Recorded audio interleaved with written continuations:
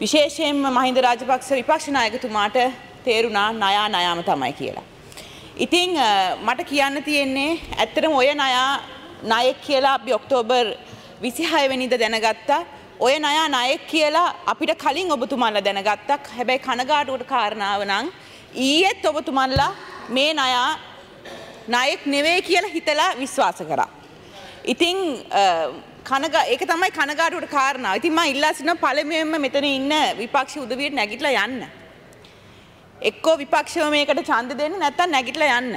මොකද මේ පල්ලෙවත්තේ ගමරාලාගේ මෛත්‍රීපාල සිරිසේන කියන චරිතය කවදාවත් සත්ත පහකට විශ්වාස කරන්න පුළුවන් මිනිස්සෙක් නෙවෙයි.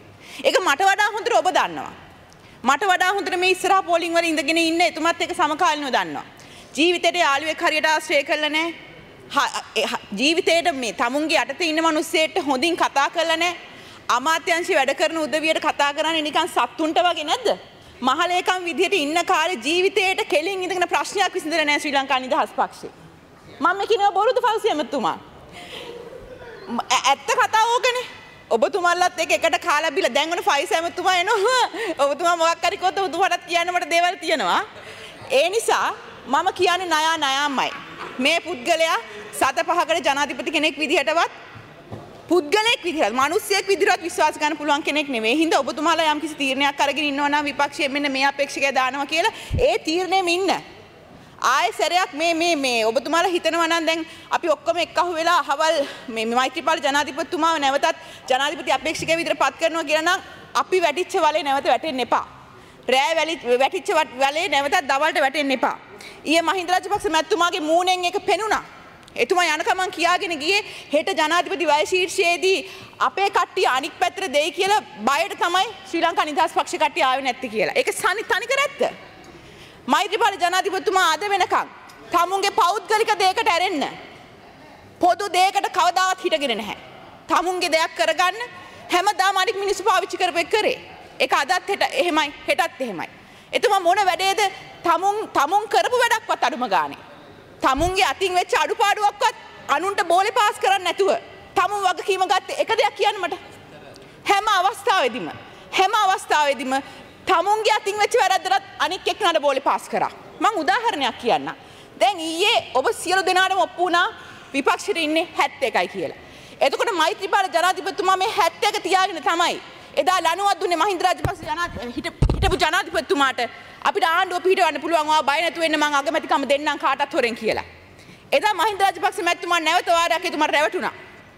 ඒ රැවටුණායින් පස්සේ ඊට පස්සේ මාධ්‍යවේදීන් අහද්දී කොහොමද බෝලෙ පාස් කරපු විදිහ මහින්ද රාජපක්ෂ මැතිතුමාට එතුමාට විපක්ෂ නායක විදිහට හෝ ඒ හිටපු පොහොට්ටුවේ නායකයා විදිහට හරි ලස්සන ගමනක් තිබ්බා.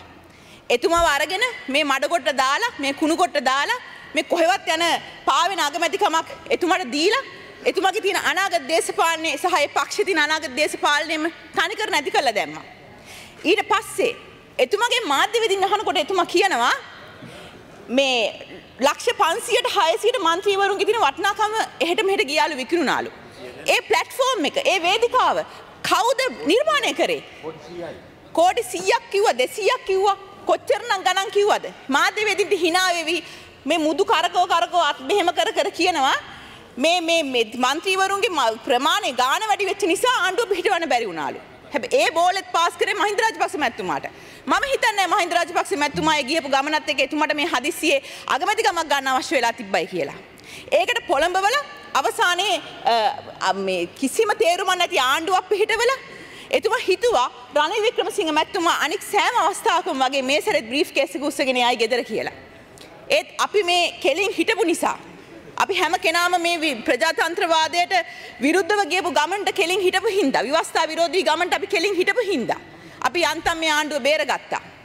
මෙතුව පහුගිය කාලේ පත්වෙච්ච මුල් කාලේ කිව්වා නෙල්සන් මැන්ඩලා කියලා. නෙල්සන් මැන්ඩලා ජීවිතේ මේ වගේ දේවල් කරනවා දැකලා තියෙනවද?